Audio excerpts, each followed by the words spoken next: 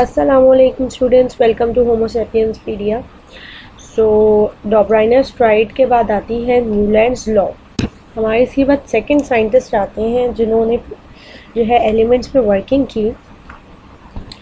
तो तो 1864 से 1869 तक न्यूलैंड हमारे एक साइंटिस्ट थे जिन्होंने एलिमेंट्स पे वर्किंग की। 1864 से 1869 तक इन्होंने वर्किंग की, इनका टाइम पीरियड था। अच्छा न्यूलैंड जो थे, वो बहुत डिफरेंट साइंटिस्ट थे। मींस सीरियस साइंटिस्ट नहीं थे, थोड़े से फन फन प्लस म्यूज़िक वाले थे। ये समझे कि fun plus music plus chemistry fun था जब भी तो म्यूज़िक थी। और केमिस्ट्री भी इनको बहुत पसंद थी। इन्होंने क्या किया? म्यूज़िक और केमिस्ट्री को दोनों को आपस में मिला दिया। सही है जी? तो इन्होंने कहा कि जैसे कि हर ट्यून में आपको पता होगा कि कोई भी लैंग्वेज हो, चाहे वो इंग्लिश हो उर्दू हो चाइनीज़ हो जैपनीज़ हो, कोई भी सॉन्ग हो तो उसकी सेवन ही टोन्स होती हैं। कितनी होती हैं, मैं साइड पर आपको समझाने के लिए हूँ। उनकी सेवन ही ट्यून्स होती हैं और होता ये है कि कि वो सेवन ट्यून्स जो होती हैं और उसमें जो एट ट्यून आती है, वो उस सेवन की रिपीटेशन होती है। फॉर एग्ज़ाम्पल हाँ आप लोग, जैसे कि हम बहुत रिलेटेड हैं हिंदी मूवीज़ वगैरह से तो we know it very well के सारे गामा पादानी सा, सही है? तो इसमें ये सेवन ट्यून में जो एट ट्यून आती है, ये रिपीटेशन ऑफ़ द फ़र्स्ट आ जाती है। मैं लिख के भी आपको एक दफ़ा बता देती हूँ हाउ तो स्टूडेंट्स न्यूलैंड ने क्या करा? इन्होंने बोला कि जो एट ट्यून्स होती हैं, जो म्यूज़िक की एट ट्यून्स होती हैं, जिसे ऑक्टिव कहते हैं म्यूज़िक की एट ट्यून्स को, उसकी अरेंजमेंट को ऑक्टिव्स कहते हैं। तो इन्होंने क्या कहा? मैं आपको एग्जांपल दिखा रही हूँ। जैसे सारे गामा पादानी तो इन्होंने कहा कि जो ये सेवन ट्यून होती है, जिस तरह वो फ़र्स्ट की रिपीटिशन ये ट्यून जो है वो सॉरी जो आपकी सेवन्थ होती है, वो रिपीटेशन बनती है सेवन टोन के बाद सॉरी सेवन टोन के बाद जो आपकी एट ट्यून आती है, ये रिपीटेशन ऑफ़ फ़र्स्ट होती है। मींस अगर यहाँ नाइन ट्यून आ जाए तो वो सेकेंड की रिपीटेशन होगी। इन्होंने कहा कि सेवन ट्यून के बाद जो आपकी एट ट्यून होगी वो आपकी फ़र्स्ट की ही रिपीटेशन होगी। फॉर एग्ज़ाम्पल अगर हम यहाँ से शुरू कर दें जैसा कि हमारा रूल ऑफ़ ऑक्टिव है म्यूज़िक का रूल है कि सेवन ट्यून्स होती हैं और वो रिपीट होने पे एट ट्यून जो होती है वो आप कहीं से भी शुरू कर लें वो आ, आपकी एट जो है वो फ़र्स्ट ट्यून ही बनती है। सही है? तो इन्होंने क्या किया?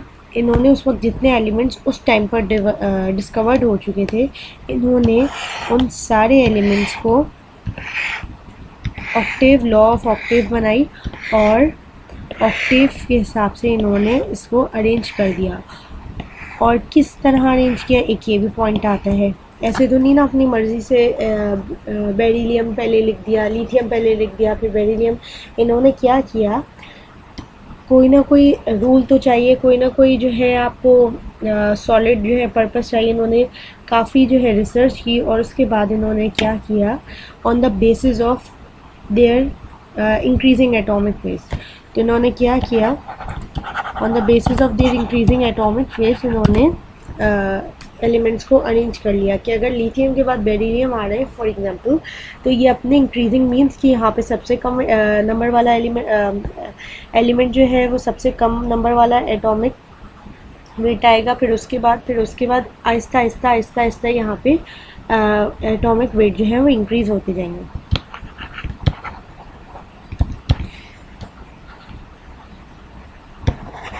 सही है जी। एक पॉइंट ये भी आ गया। तो न्यूलैंड ने कुछ इस तरह जो है एलिमेंट्स को डिस्कवर किया। Lithium beryllium carbon nitrogen oxygen oh sorry तो स्टूडेंट्स न्यूलैंड ने कुछ इस तरह एलिमेंट्स को अरेंज किया।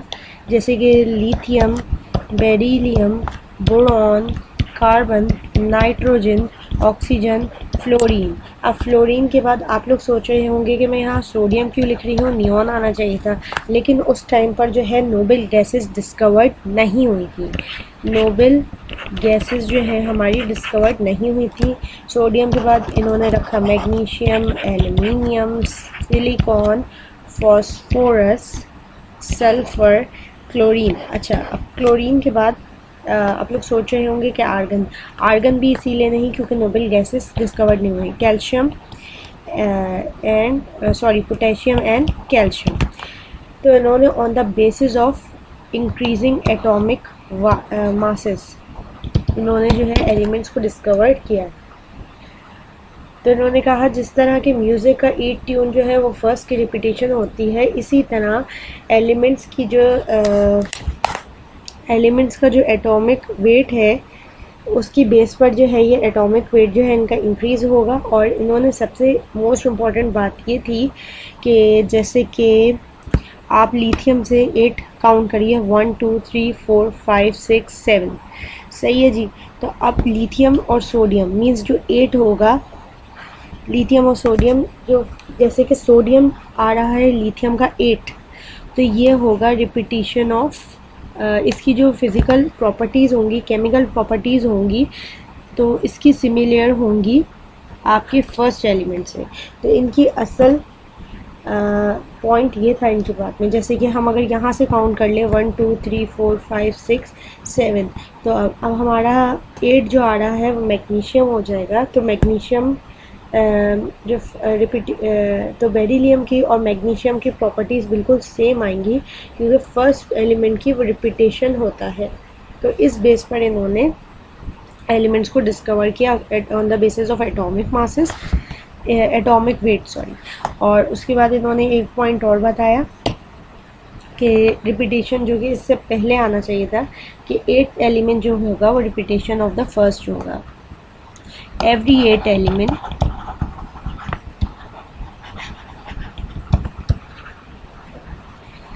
is the repetition of the first of the first element तो ये दो मेन पॉइंट्स आ गए इनके so students what is Newland's law so basically Newland's law is the law of octaves law of octaves and it states that it states that every element every sorry every eighth eighth Number 8. Every eighth element is the repetition of the physical and chemical properties of the first element. So basically this is the law. This is the law of Newland and this is the main purpose of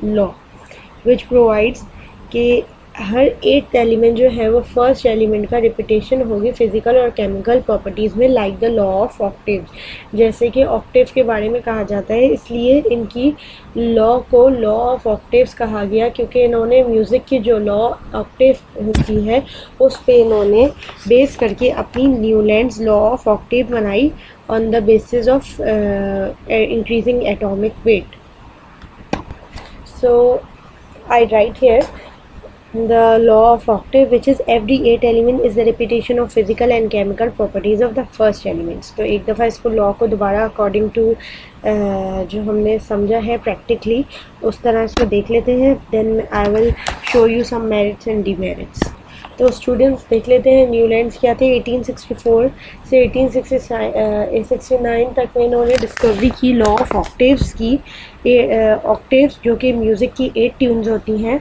और इन्होंने कहा कि जैसे आ, हमने example ली सारे gamma पादानी पाधानी के बाद सा आता है तो जो आपकी फ़र्स्ट होती है वो उसकी आ, जो आपकी एट ट्यून होती है वो फ़र्स्ट की रिपीटेशन होती है। सही है जी तो इन्होंने क्या किया? Increasing on the basis of atomic increasing weight तो इन्होंने एलिमेंट्स को उनकी इंक्रीजिंग एटॉमिक वेट की बेस पर अरेंज किया कि लिथियम से ज़्यादा बेरिलियम का एटॉमिक वेट बेरिलियम से ज़्यादा बुरॉन का बुरॉन से ज़्यादा कार्बन का इंक्रीज़ होता जा रहा है यहाँ पे, सही है? तो फिर देखा यह गया और इन्होंने कहा कि इनकी फ़िज़िकल और केमिकल प्रॉपर्टीज़ जो है एट्थ एलिमेंट की फ़र्स्ट एलिमेंट से सिमिलर होंगी, सही है जी? जैसे कि इन्होंने कहा, कोई भी हो एवरी एट एलिमेंट आप बेरिलियम से स्टार्ट कर लें, आप बोरॉन से स्टार्ट कर लें, आप कार्बन से स्टार्ट कर लें कहीं से भी स्टार्ट कर लें। आपका जो एट एलिमेंट आएगा वो रिपीटेशन होगा। उसकी फ़िज़िकल और केमिकल प्रॉपर्टीज़ आपके फ़र्स्ट एलिमेंट की। For example one two three four five six seven मैंने कार्बन से स्टार्ट की। तो अब देखिएगा सिलिकॉन और कार्बन की जो है प्रॉपर्टीज़ जो है वो काफ़ी हद तक सेम होगी। तो इनकी आ, इनकी लॉ जो थी वो इन दो मेन पॉइंट्स पे बेस करती थी। लेकिन स्टूडेंट्स इनके मॉडल का एक बहुत बड़ा ड्रॉबैक था और वो ड्रॉबैक ये था कि कैल्शियम से आगे जो है एलिमेंट्स अरेंज नहीं कर पाए। एक ही ड्रॉबैक था। और उसके अलावा इनका जो मॉडल था वो लाइटर एलिमेंट्स की वजह से ज़्यादा फ़ेमस था। क्योंकि नोबेल गैस जो है उस वक्त डिस्कवर नहीं हुई थी। उसके अलावा इन्होंने एक बहुत अच्छा जो है इम्पोर्टेंट कॉन्सेप्ट दिया अपने मॉडल के ज़रिए, अपनी लॉ ऑफ़ ऑक्टेव के ज़रिए which is periodicity and periodicity is most important आपके डिफरेंट डिफरेंट जगहों पे जो है, इसकी डेफिनेशन भी आती है। तो देख लेते हैं व्हाट इज़ प्रियोडिसिटी तो स्टूडेंट्स व्हाट इज़ प्रियोडिसिटी तो periodicity is the repetition of physical and chemical properties after fixed intervals क्या मतलब? इसका मतलब कुछ ऐसा हुआ। जैसे कि आप इसको देख लें एक फ़िक्स्ड इंटरवल के बाद इनकी सिमिलर प्रॉपर्टीज़ आती हैं। तो प्रियोडिसिटी इसे कहते हैं लेकिन अभी प्रियोडिसिटी की डेफिनेशन ख़त्म नहीं हुई। प्रियोडिसिटी इसे भी कहते हैं और प्रियोडिसिटी की डेफिनेशन हम कह सकते हैं एक्सटेंड हो जाती है according to the according to uh, according to some cases exceptional cases according to exceptional cases जैसे कि पहले मैं आपको डेफिनेशन बताती हूँ then I I will explain तो the definition is periodicity is the gradual periodicity is the gradual increase in the physical and chemical properties of elements after fixed intervals तो हम इसी एग्ज़ाम्पल को एक दफ़ा और ले लेते हैं मीन्स के इसकी फ़िज़िकल और प्रॉपर्टीज़ कुछ भी ले लें कि जो है यहाँ से यहाँ तक जो है सिमिलर थी, लेकिन जब ये यहाँ से यहाँ और यहाँ से यहाँ तक फॉर एग्ज़ाम्पल ये एग्ज़ाम्पल लेते हैं हम। जैसे कि हम इसकी इलेक्ट्रॉनिक कॉन्फ़िगरेशन सॉरी वैलेंसी ले लेते हैं। जैसे कि सोडियम लिथियम सोडियम और पोटेशियम की वैलेंसी वन होती है। तो ये इसकी सिमिलर आ गई।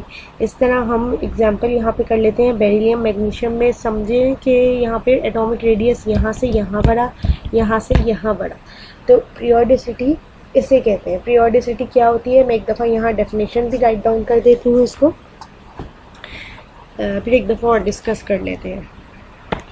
So students I have written uh, periodicity definition here. So what is periodicity?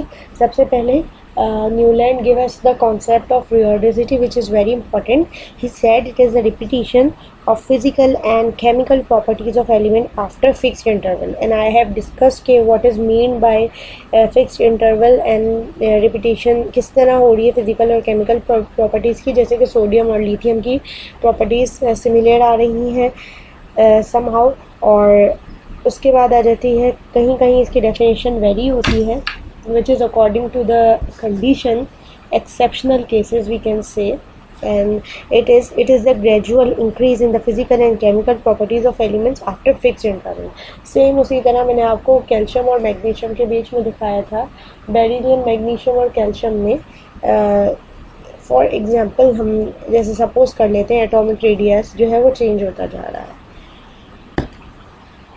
हर अभी तक हमने टॉप टॉपराइनर स्ट्राइक पढ़ी थी, उसमें भी कुछ टॉपराइनर की भी मेरिट थी सक्सेस थी और कुछ फेलियर्स थे। तो इनकी सक्सेस क्या थी, सबसे पहले ये डिस्कस कर लेते हैं कि न्यूलैंड ने क्या क्या पॉजिटिव वर्किंग की। पॉजिटिव तो पूरा मॉडल ही पॉजिटिव था, लेकिन कहीं कहीं ये इनकी जो है डीमेरिट था कि कहाँ पर ये प्रॉब्लम क्रिएट हुई है। पहले हम मेरिट को डिस्कस करेंगे। तो फ़र्स्ट ऑफ़ ऑल सबसे मोस्ट इंपॉर्टेंट पॉइंट ये आता है he give is the concept of periodicity he give us the concept of periodicity as you know, concept of periodicity which is very important and मैंने explain भी कर दिया है कि what is periodicity and second thing we arrange elements in order of increasing atomic weights that has similar uh, physical and chemical properties. इन्होंने दूसरा काम ये किया था। पहला मतलब ये इन्होंने इंक्रीजिंग एटॉमिक वेट्स में on the basis of increasing atomic weights elements को डिस्कवर किया। सही है जी? और कहा कि इनकी एलिमेंट्स की प्रॉपर्टीज़ फ़िज़िकल और केमिकल सेम आएँगी। ये पॉइंट भी इनका करेक्ट था और इन्होंने प्रियोडिसिटी भी हमें डिस्कवर कर दी।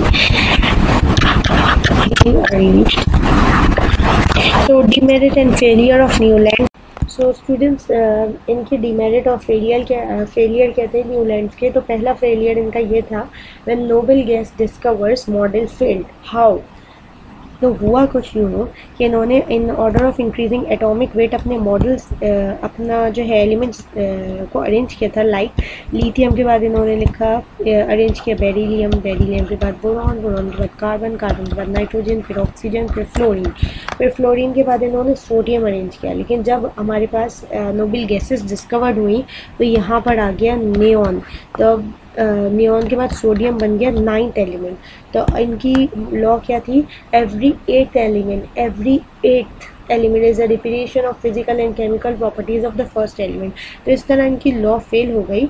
लेकिन अगर आप ये भी कह सकते हैं लॉ ऑफ़ ऑक्टेट की जगह हम इसको लॉ ऑफ़ नॉन भी या कुछ इस तरह भी कह सकते थे नाइन भी कह सकते बट द थिंग इज़ कि उसके बाद जब इसको हम इस तरह वो नाम चेंज कर देते अगर लॉ की लॉ उनकी सही चल रही थी बट द थिंग इज़ कि उसके बाद हैवियर एलिमेंट्स भी डिस्कवर हो गए। जब हैवियर एलिमेंट्स डिस्कवर हुए डिस्कवरी ऑफ़ तो इनकी इनकी लॉ जो है वो कैल्शियम तक ही चल सकी। और आगे जो है ये लॉ जो है वर्क नहीं हो सका। Eight every eight element is the repetition of first element every eight element is the repetition of physical and chemical properties of first element ये लॉ नहीं हो सकी हैवियर एलिमेंट पे।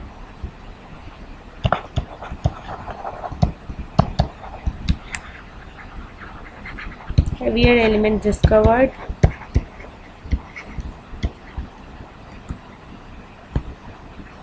And law cannot work cannot work. तो बहुत बड़े scientist थे Newland लेकिन इनका मॉडल ये नहीं कह सकते कि बिल्कुल फेल हो गया। इनका मॉडल लास्ट में फेल तो हुआ लेकिन ये भी बहुत बड़ी सक्सेस थी हमारी साइंस के लिए। इस पर इन्हें जो है आ, तो इनको इसके बावजूद ज़ाहिर सी बात है डिस्कवरी वर्किंग तो की थी तो इनको इसकी डिस्कवरी पे मेडल भी मिला रॉयल सोसाइटी ऑफ़ लंदन से। सो होपफुली आपको मेरा लेक्चर पसंद आया होगा, कोई भी इससे रिलेटेड क्वेश्चन वगैरह